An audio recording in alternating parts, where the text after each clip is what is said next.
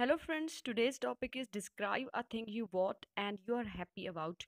ਕੋਈ ਚੀਜ਼ ਤੁਸੀਂ ਖਰੀਦੀ ਹੋਵੇ ਉਹਨੂੰ ਡਿਸਕ੍ਰਾਈਬ ਕਰੋ ਐਂਡ ਤੁਸੀਂ ਉਸ ਦੇ ਬਾਰੇ ਹੈਪੀ ਹੋ ਮੀਨਸ ਉਸ ਦੇ ਬਾਰੇ ਤੁਸੀਂ ਡਿਸਕ੍ਰਾਈਬ ਕਰਨਾ ਹੈ so guys if you are new to my video please like this video and uh, subscribe my channel so let's discuss its cues what you bought ਤੁਸੀਂ ਕੀ ਖਰੀਦਿਆ why you selected this product ਤੁਸੀਂ ਇਹ product select ਕਿਉਂ ਕੀਤਾ from where you purchased it ਤੁਸੀਂ ਇਹ ਕਿੱਥੋਂ ਖਰੀਦਿਆ explain why you are so much happy about it and explain ਕਰੋ, ਤੁਸੀਂ ਇਸ ਦੇ ਬਾਰੇ ਇੰਨਾ ਹੈਪੀ ਕਿਉਂ?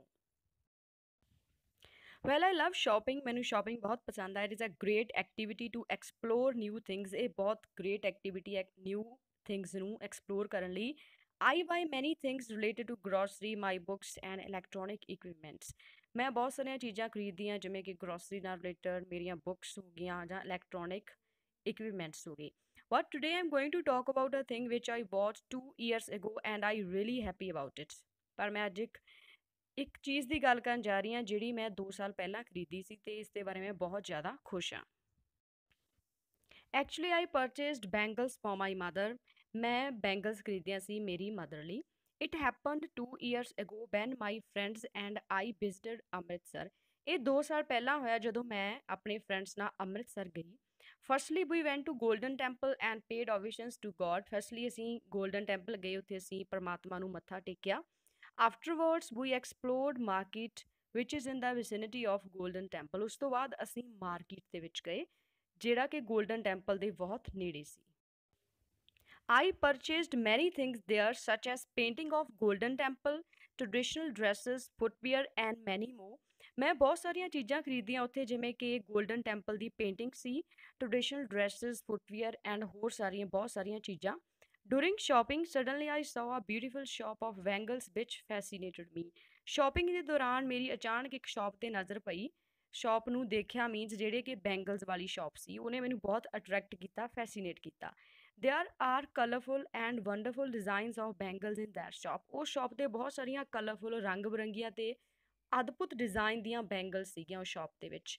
So I could not stop myself from buying golden colour bangles so ਮੈਂ ਆਪਣੇ ਆਪ ਨੂੰ ਰੋਕ ਨਾ ਸਕੀ 골ਡਨ ਕਲਰ ਬੈਂਗਲਸ ਖਰੀਦਣ ਤੋਂ।